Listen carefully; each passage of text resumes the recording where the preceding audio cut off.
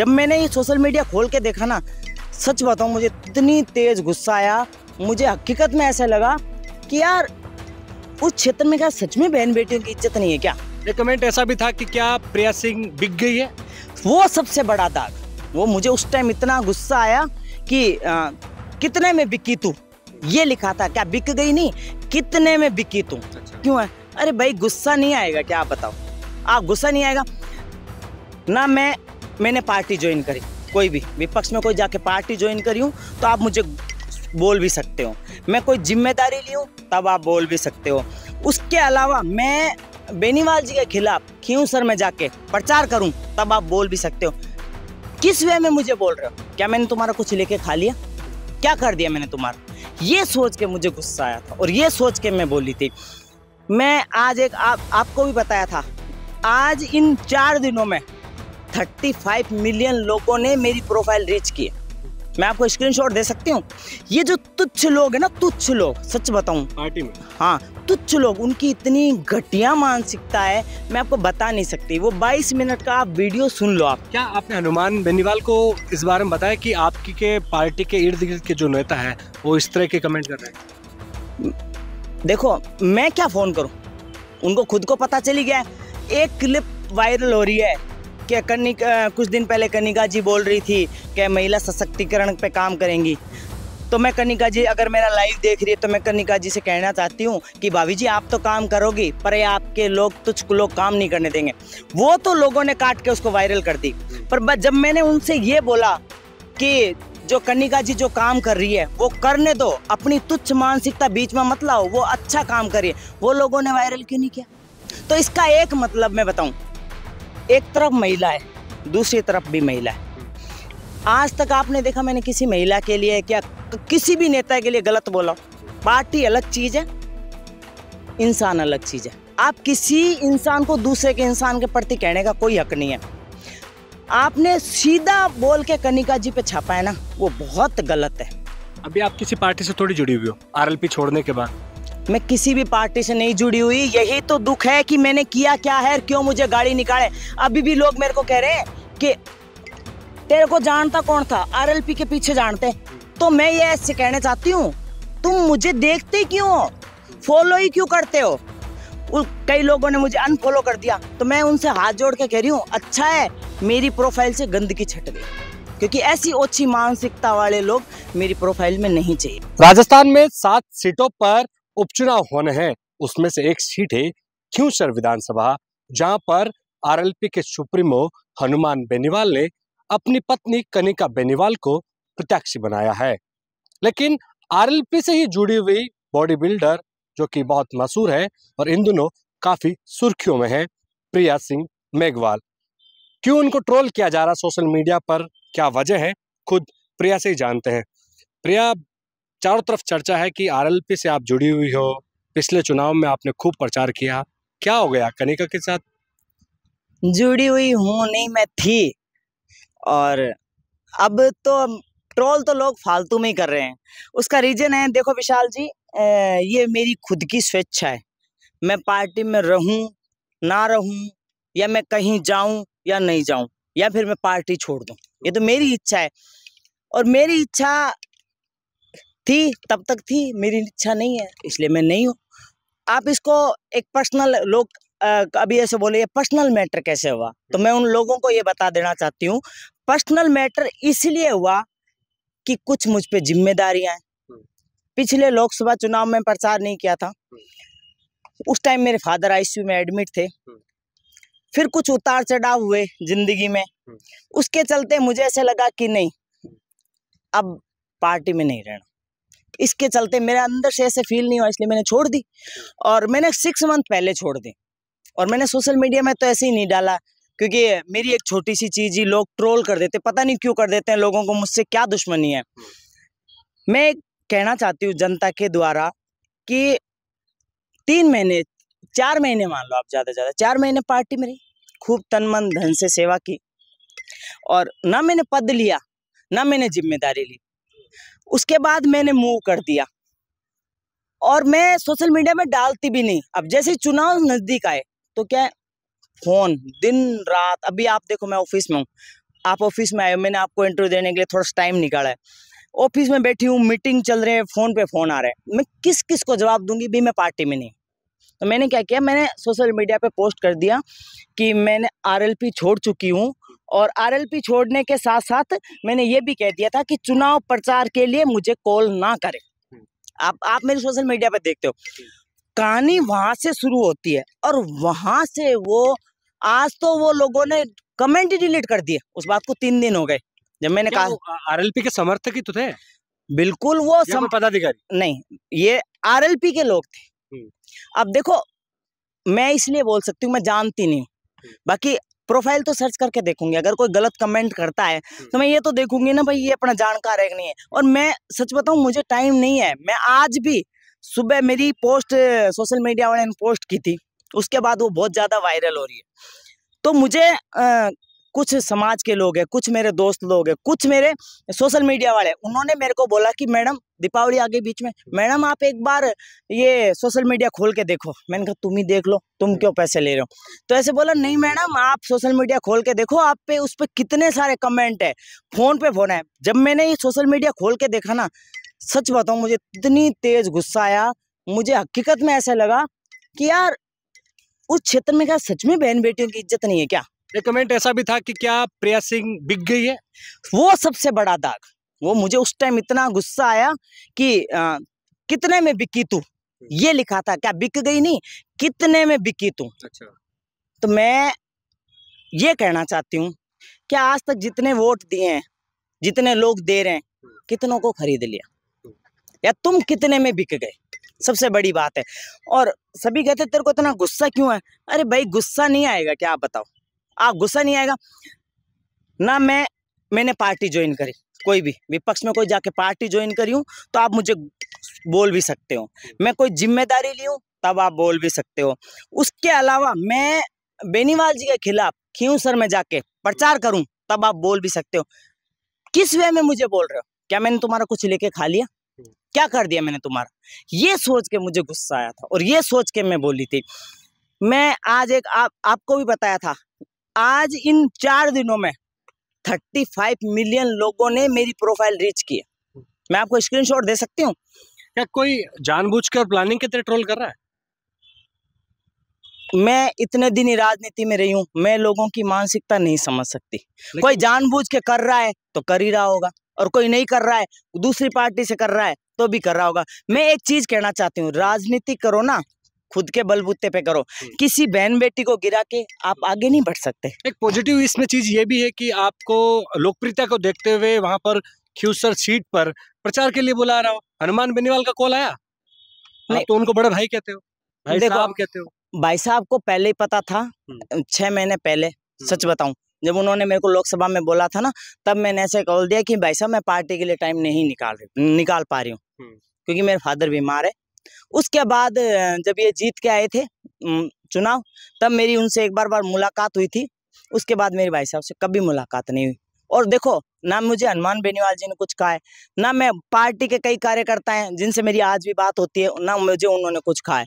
ये जो तुच्छ लोग है ना तुच्छ लोग सच बताऊँ। पार्टी में? हाँ तुच्छ लोग उनकी इतनी घटिया मानसिकता है मैं आपको बता नहीं सकती। वो 22 मिनट का आप वीडियो सुन लो आप। क्या आपने हनुमान बेनीवाल को इस बारे में बताया कि आपकी के पार्टी के इर्द गिर्द के जो नेता है वो इस तरह के कमेंट कर रहे हैं? देखो मैं क्या फ़ोन करूँ? उनको खुद को पता चली गया एक क्लिप वायरल हो रही है कि कनिका कुछ दिन पहले कनिका जी बोल रही थी कि महिला सशक्तिकरण पे काम करेंगी। तो मैं कनिका जी अगर मेरा लाइव देख रही है तो मैं कनिका जी से कहना चाहती हूँ कि भाभी जी आप तो काम करोगी पर ये आपके लोग तुझ को लोग काम नहीं करने देंगे। वो तो लोगों ने काट के उसको वायरल कर दी। पर जब मैंने उनसे ये बोला कि जो कनिका जी जो काम कर रही है वो करने दो। अपनी तुच्छ मानसिकता बीच में मत लाओ वो अच्छा काम करिए वो लोगों ने वायरल क्यों नहीं किया? तो इसका एक मतलब मैं बताऊँ एक तरफ़ महिला है दूसरी तरफ़ भी महिला है। हम्म। आज तक आपने देखा मैंने किसी महिला के लिए क्या किसी भी नेता के लिए गलत बोला हम्म। पार्टी अलग चीज़ है इंसान अलग चीज़ है। आप किसी इंसान को दूसरे के इंसान के प्रति कहने का कोई हक नहीं है। आपने सीधा बोल के कनिका जी पे छापा है ना वो बहुत गलत है। अभी आप किसी पार्टी से थोड़ी जुड़ी हुई हो आरएलपी छोड़ने के बाद? मैं किसी भी पार्टी से नहीं जुड़ी हुई यही तो दुख है कि मैंने किया क्या है क्यों मुझे गाड़ी निकाले। अभी भी लोग मेरे को कह रहे हैं कि तेरे को जानता कौन था? आरएलपी के पीछे जानते हम्म। तो मैं ये ऐसे कहना चाहती हूँ तुम मुझे देखते क्यों हो? फॉलो हम्म। ही क्यों करते हो? कई लोगों ने मुझे अनफॉलो कर दिया तो मैं उनसे हाथ जोड़ के कह रही हूँ अच्छा है मेरी प्रोफ़ाइल से गंदगी छट गई। क्योंकि ऐसी ओछी मानसिकता वाले लोग मेरी प्रोफ़ाइल में नहीं चाहिए मुझे आप नहीं मानते कि आपके प्रोफ़ाइल में आरएलपी से जुड़ने के बाद फ़ैन फॉलोइंग और बड़ी आपकी सच बताऊँ ये चार दिन में हम्म। मेरी प्रोफ़ाइल में और ज़्यादा बढ़ोतरी हुई है हम्म। सच बता रही हूँ जब से मैंने लिखा है ना हम्म। ये मैं खिलाफ बोली हूँ तब से मेरी और बढ़ोतरी हुई है ये जो इनकी इनकी मानसिकता है ना कुछ लोगों की ये इन लोगों से मैं कहना चाहती हूँ बदल लो। तुम्हारे घर में भी बहन बेटी है। विधानसभा चुनाव के टाइम प्रिया सिंह हनुमान बेनीवाल से कंधे से कंधम मिलाते हुए रथ पर प्रचार करते हुए खूब दिखी थी लेकिन हर कोई चाह रहा है कि क्या ये नज़ारा वापस विधानसभा उपचुनाव क्योंसर सीट पर देखने को मिलेगा या नहीं? ऐसी मानसिकता में तो कभी नहीं मिलेगा।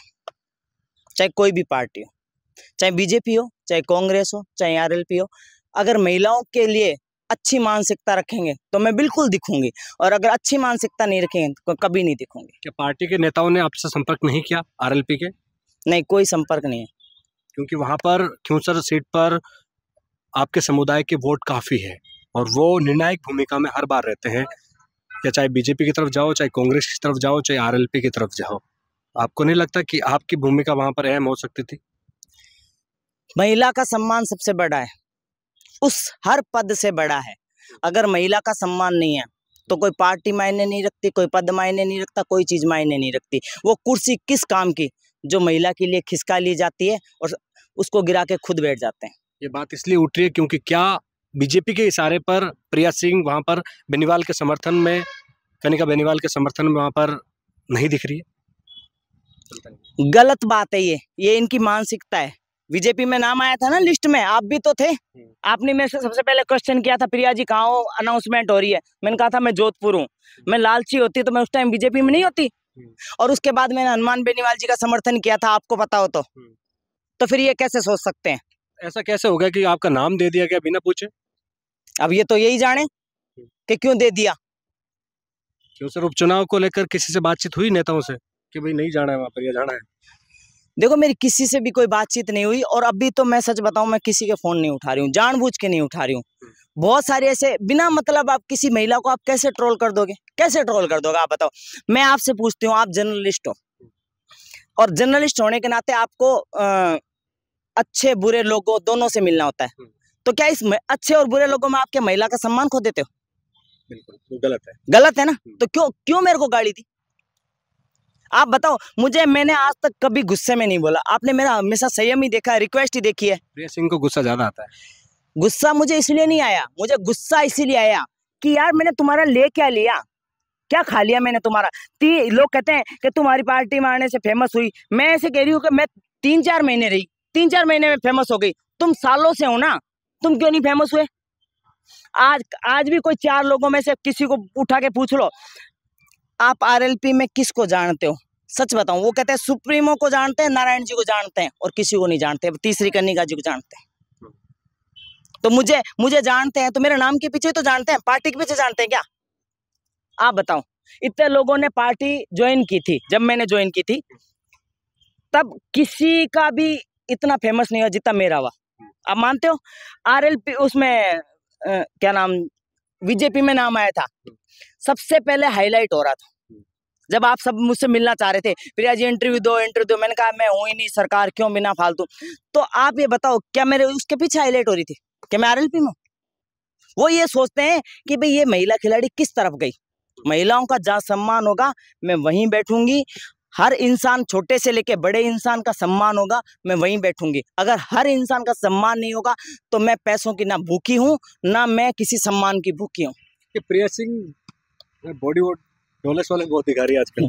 धमकियाँ दे रही है खुले हम धमकी धमकी नहीं दे रही विशाल जी। इसलिए मैं बोल रही हूँ आपको कि लोग ऐसे सोचते हैं महिला हूँ कमज़ोर नहीं है ना? और आप मैं आपको एक खुल के आज एक बात बताऊँ। हम्म। दो हज़ार बाईस था ना? सितंबर 2022 हम्म। सच बताऊँ एक पुलिस वाले को इतना धोया था मैंने वर्दी में मैं आपको बता नहीं सकती जब तो मुझे कोई जानता नहीं था। इसलिए धोया था कि उसने मुझे आपको मैं वर्ड यूज़ नहीं गाड़ी देती मुझे उठा के थाने में ले गए। पब्लिक इकट्ठी हो गई उस जगह क्या गलती माफ़ी मांगो? किस बात की माफ़ी मांगू? क्या आपने इसको मारा वर्दी पे मैं तो हूँ गलत आप इसको सही कर दो। क्या प्रिया सिंह का यही बेबाकी की वजह से आरएलपी के कई नेताओं को दिक्कत होती थी? देखो कई लोगों को तो सच बताऊँ कोई भी फ़ील्ड चुन लो। इसलिए नहीं होता है कि भाई सबसे पहले इम्पोर्टेंट इसको मिलेगी। क्यों? थोड़ा सा नाम हो जाता है थोड़ा सा फेम हो जाता है ना और थोड़ा हाईलाइट रहते हैं तो हर लोगों को दिक्कत होती है। और आरएलपी में कई लोग आज भी ऐसे बैठे हैं जिनको दिक्कत है मुझसे। लेकिन प्रिया सिंह ने कोई पद ही तो नहीं लिया था बिना पद से ही पार्टी ज्वाइन की थी। वो तो आप सबको ही पता है मेरे को कोई कौन सा पद लिया? फिर का डर? किसको? मुझे तो कोई डर नहीं पार्टी के नेताओं अब होगा डर उनको। मुझे तो कोई डर नहीं है मैं तो आज भी अकेले घूमती हूँ। आपने देखा ही होगा। आज की तारीख में प्रिया सिंह आरएलपी से नहीं जुड़ी हुई है। नहीं जुड़ी हुई है। वो तो लिखा हुआ है सोशल मीडिया में मैं कैसे कह दूँ आपको हाँ जुड़ी हुई हो। फ्यूचर किसमें देख रहे किस पार्टी में? देखो मैं आपको अभी थोड़ी देर पहले बोला जहाँ महिला का सम्मान नहीं वहाँ नहीं बैठना।